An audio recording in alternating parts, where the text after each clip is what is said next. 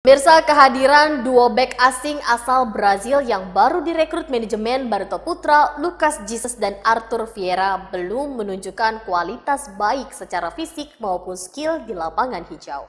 Sang arsitek Jackson F. Tiago memaklumi kondisi tersebut dan memberikan waktu selama dua pekan untuk keduanya beradaptasi. Usai diperkenalkan manajemen sebagai pemain baru di skuad Barito Putra untuk berlaga pada liga musim ini, dua pemain asing asal Brazil, Lucas Jesus dan Arthur Vieira, mengikuti latihan perdana bersama di Stadion Demang Lehman Martapura minggu sore lalu. Kedua pemain asing anyar Barito yang sama-sama menempati posisi sebagai center back ini belum memperlihatkan kualitas terbaik saat menjalani latihan kemarin, baik fisik maupun skill.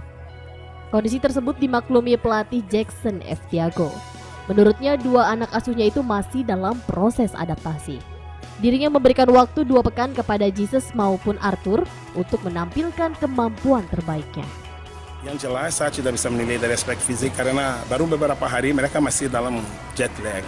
Mereka tadi bilang bahwa tiap hari jam 4 mereka sudah bangun sehingga jam biologis mereka itu harus dibenahi dulu untuk kita memberi sebuah penilaian yang lebih akurat lagi. Adaptasi proses adaptasi dari Ya itu pasti. Pemain baru ya paling 10 hari lah, 10 15. Kalau saya pulang ke Brasil sekitar 10 hari baru aku adaptasi. Mungkin pemain lebih muda lagi ya, mungkin proses lebih cepat sedikit.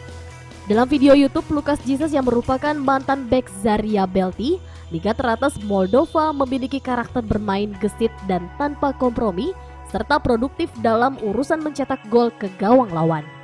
Sedangkan Arthur Vieira terakhir bermain di klub profesional Brazil Fluminense memiliki karakter lebih tenang. Dari Martapura, Kabupaten Banjar, Sohardian, Aidius, melapor.